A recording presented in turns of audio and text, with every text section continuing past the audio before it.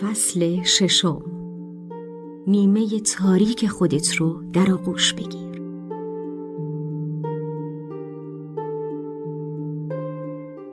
همه ما به دنبال آرامش هستیم. اما برای اینکه به آرامش حقیقی برسیم باید نیمه تاریک خودمون رو در آغوش بگیریم. باید باورهای غلط رو رها کنیم.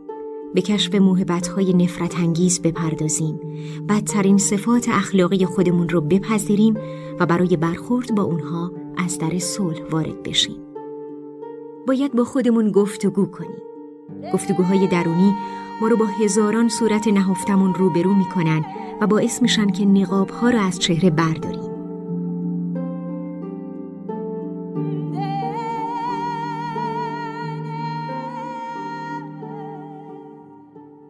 قبل از اینکه بتونم با درون خودم رابطه برقرار کنم و باهاش حرف بزنم به دیگران وابسته بودم. دائم روانشناس خودم رو تغییر می‌دادم تا بلکه راهی برای مقابله با مشکلاتم پیدا کنم. بیشتر مواقع منتظر بودم چیزی رو بگن که من دوست دارم بشنوم. اگه همون حس درونی منو منتقل می‌کردن بهشون برچسب خوب بودن می‌زدم. به مطالعه پرداختم و متوجه شدم اگه جنبه های مختلف وجودم و با اسامی مختلف و خندهدار نامگذاری کنم رد شدن و شکستن دیوار اون آسون تره. اون وقت می‌تونستم که بیطرفانه و بدون انکار حقایق به تماشای هر چیزی که منو تشکیل داده بشینم.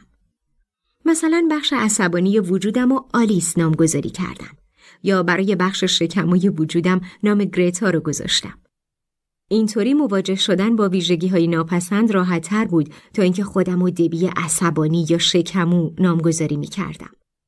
ما باید درون خودمون رو به هر طریقی که شده کشف کنیم. البته مراجعه کنندگانم همیشه میگن که چه کاری باید انجام بدیم تا صدای درون خودمون رو بشنویم. هر زمانی که در حال انجام کار مثبتی هستین، صدای درونی منفی خودش رو نشون میده. از این رو باید برای ساکت کردنش به مراقبه بپردازیم. رقصیدن، نفس عمیق کشیدن و گاهی قرار گرفتن در سکوت می‌تونه صداهای منفی رو از بین ببره. همیشه مردم وقتی با شخصیت‌های عجیب و غریب خودشون روبرو میشن باورشون نمیشه که همچین حیولاهایی رو در درون خودشون پیدا کردن. انتظار دارن فرشتگانی زیبا رو ملاقات کنن. اما نقشه هاشون نقش براب میشه. هر تصویری رو که هنگام خیال پردازی و تمرکز روی شناخت درونی خودتون دیدین قضاوت نکنید. مثلا در این بین ممکنه دوستان قدیمی خودتون، نامزدتون که ازش جدا شدین و دشمنان خونیتون رو ببینید. اما از اونها روی بر نگردونید. در محیط کار با زنی به نام شلی آشنا شدم. از اون دست بود که به نظر می‌رسید چیزی کم نداره. تو صنعت فیلمسازی کار می‌کرد و کارنامه موفقی برای خودش دست و پا کرده بود. اما نمی‌تونست هیچ انتقادی رو تحمل کنه. سالهای زیادی کار کرده بود و حالا تصمیم گرفته بود تا مدتی استراحت کنه. تو خلوت خودش متوجه شد که در دوران کاریش از روش های تهاجمی برای به کرسی نشوندن حرفش استفاده کرده و از این موضوع کمی عذاب وجدان داشت. ازش خواستم تا با درون پرخاشگر خودش روبرو بشه و در آینه بگه که من یک پرخاشگرم. بعد بهش گفتم که برای پرخاشگری خودش اسمی انتخاب کنه و از اون بخواد که توضیح بده. پرخاشگر درونی اون به شلی گفت که همیشه ازش مراقبت کرده و اجازه نداده که کسی صد راهش قرار بگیره و بهش صدمه بزنه. اون با پرخاشگر درونش به صلح رسید و تونست بعد از مدتها از شغلش رضایت درونی به دست بیاره. کلمه ای که من همیشه در زندگیم نسبت به اون حساس هستم شلخته بودنه. همیشه یه خدمتکار دارم که خونه رو تمیز و مرتب نگه میداره. کسی تا به حال شلخته بودن منو ندیده و اگه به من بگن که دبی تو یه زن شلخته هستی ناراحت میشم. به گذشته نگاه کردم و متوجه شدم برای شلخته بودنم مادرم فریادای زیادی سرم کشیده. به همین دلیل می ترسیدم که کسی به خاطر همین ویژگی منو تنها بذاره. از مادرم علت این رفتارش رو سوال کردم. اون گفت تو شجاعت اینو داشتی که لباستو زمین بندازی. اما من هیچ وقت فرصتی برای این کار نداشتم. چون در کودکی به شدت مورد سختگیری والدینم قرار می گرفتم.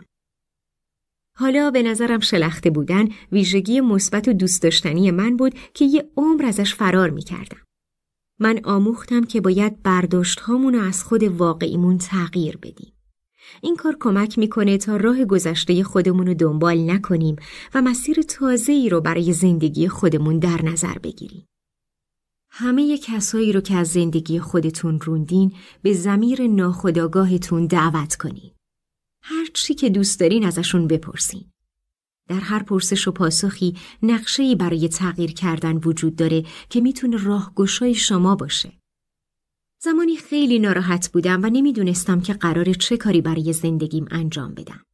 دوستی داشتم که مدتها بود باهاش حرف نزده بودم. هر دو درگیر کار و زندگی بودیم. دوست داشتم که باهاش حرف بزنم اما می‌دونستم که درگیر کردن استیو با مسائل شخصیم چندان کار درستی نیست. تصمیم گرفتم از ذهنم کمک بگیرم. استیو رو به ذهنم دعوت کردم و سوالاتی ازش پرسیدم. در کمال تعجب به سوالات من جواب داد و گفتگوی خوبی داشتیم. چندین ماه بدون اینکه مزاحمش بشم در ذهنم با اون حرف زدم و از انرژی و عشقش استفاده کردم.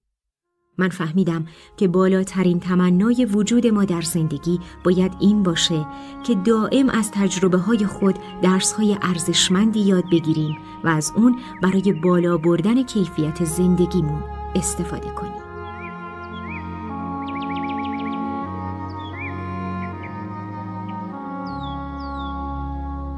تمرین هر وقت احساس کردین که در آرامش قرار دارین این تمرین را انجام بدین. چون پایه و اساس اون نیازمند آرامش ذهنی شماست. شمعی روشن کنین. نفس عمیقی بکشین و با پخش یه موسیقی ملایم خودتون رو آماده کنین. یه اتوبوس رو تصور کنین که در صندلی وسط اون نشستین. همینطور که از منظر لذت می‌برین شخصی که پشت سر شما نشسته روی شونتون می‌زنه و میگه که همه ما مسافران این اتوبوس لایه های زیرین تو هستیم. شما هم چرخی می‌زنین تا با همه آشنا بشین. برخی خودشونو پنهان می‌کنن و برخی به استقبالتون میان. راننده در کنار بوستانی توقف می‌کنه و همه پیاده میشن. اگه شخصی در اتوبوس می‌خواد دستای شما رو بگیره و همراهیتون کنه ازش دوری نکنید. حتی اگه بوده منفی شما باشه.